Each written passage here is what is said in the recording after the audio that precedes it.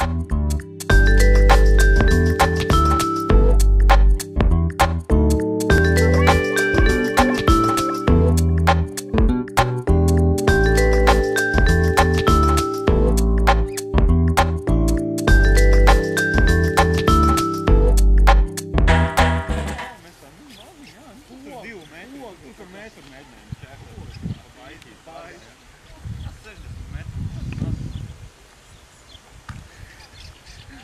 ietver tā izmēra atšķirīgi.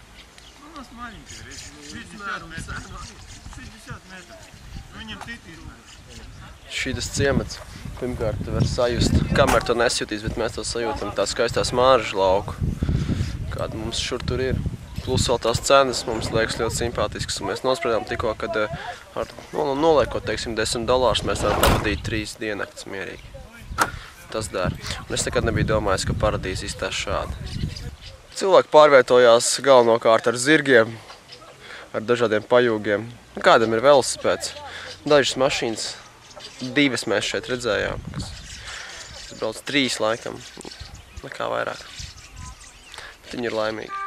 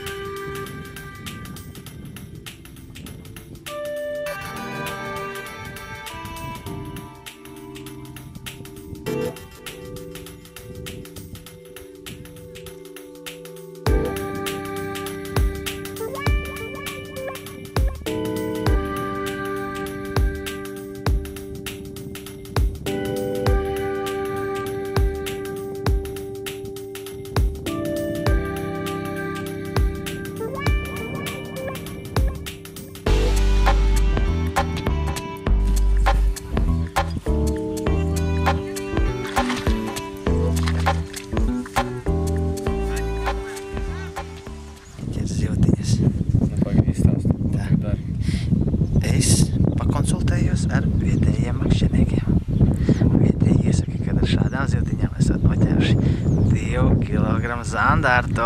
Un iesim arī mēs viņu medīt. Jēč! Plasītiņām. Nu, давай. А где он водится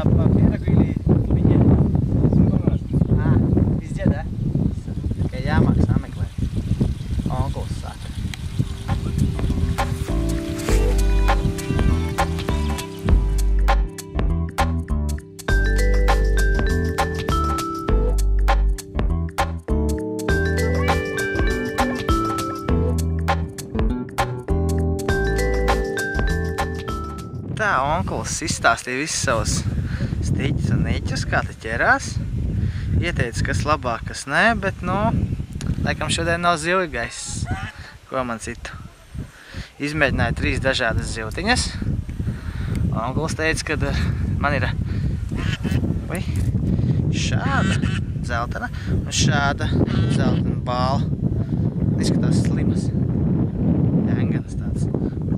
Pateica, ka šitā būšot daudz efektīvāk, bet, nu, nā, nā. Šodien laikam neķersies. O tā mums neķerās šodien. Varbūt tāpēc, ka mums fonā ir šie te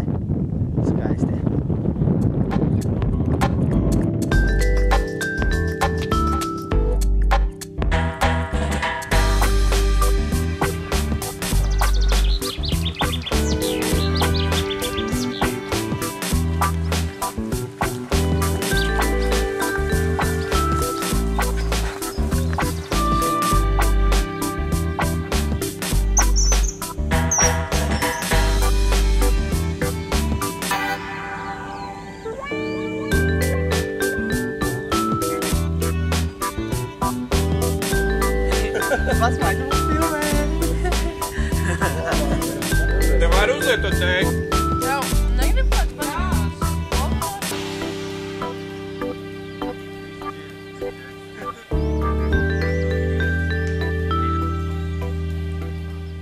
Nu, ko nakts Ukrainā pavadīta, pie Slučas upes esam. Tad Džeki vakar bija aizgājuši pat uz pilsētu, kur viņus policija nosodījusi, jeb uzlikusi sodu. Nu, par 50 grivnām var tikt cauri, ja tas ir kaut kur 5 eiro, 3 lāta apmēram. par to, ka pāriet ielā nepareizā vietā pāri. Varbūt viņi vēlāk paši pastāstīs. Nu, tagad brauksim uz mūsu vienu no galamērķiem - uz Černobiļu.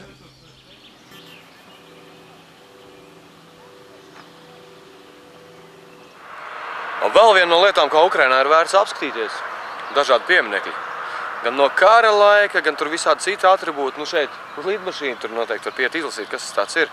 Vai tur otrā pasaules kara droši vien vai pirmā veterāniem. Bet nu tāda te ir pa pilno. Tiešām vērts paskatīties.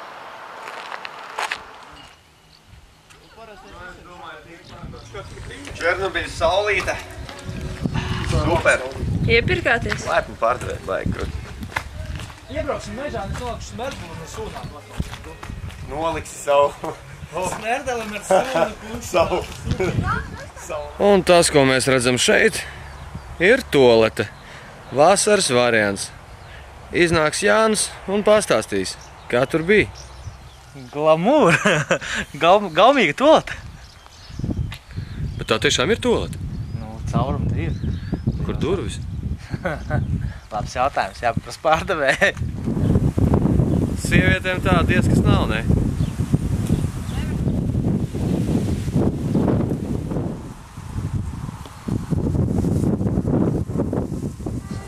Lietuvā ir uzbraukts. Kur skaita govs, vai visas? Varbūt tā ir vienkārši kaut kāda selekcijas, selekcijētētie mērķi.